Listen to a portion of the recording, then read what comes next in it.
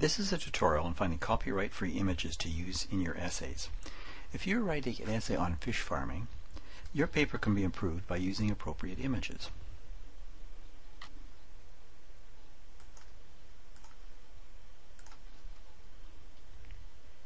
There are millions of images on the internet, but most of them are owned by someone, and it is illegal to use them without negotiation and sometimes paying a fee.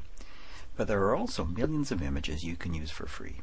All you have to do is give credit to the photographer and you can add the image to your essay. There are two great sources that we will look at, Flickr and Wikipedia. Flickr has a very simple search box. Let's search fish farms. We get thousands of results, but which ones are free for you to use? For that, what we need to do is go to Advanced Search and then page down.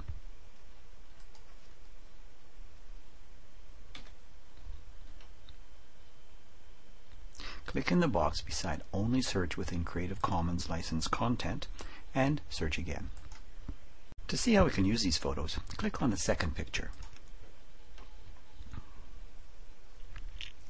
This shows the photographer. To see more details, we click on All Sizes.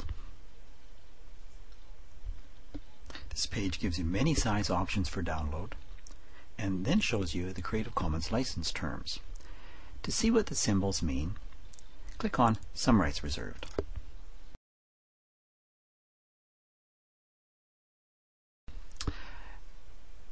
Nearly all Creative Commons pictures have an attribution license. All that means is you have to give credit to the photographer. The simplest method is to include the URL of the photograph as a source, just like you would cite a book. Now that you're sure of your right to use a photo, you can download the best size for your essay.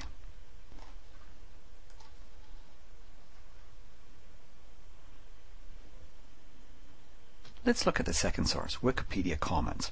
This is part of Wikipedia, but it has its own page at the bottom of the screen. Use the search box for fish farm. When we open an image, it shows the licenses. In this case, there are two licenses. Both are open source, which is another term for copyright free. This search used the normal Wikipedia search box, but Wikipedia also has a specialized search called Mayflower. We can search the same term as before, and this search result suggests using the term fish farming. We can select an image and download it.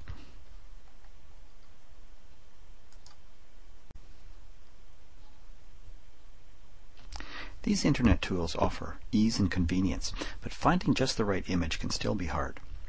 If you want more control in searching for images, talk to your librarian. Librarians know how to search databases like Academic Search and Grove Art. Some of those databases are developing image searches, but that will be another tutorial. This concludes this tutorial.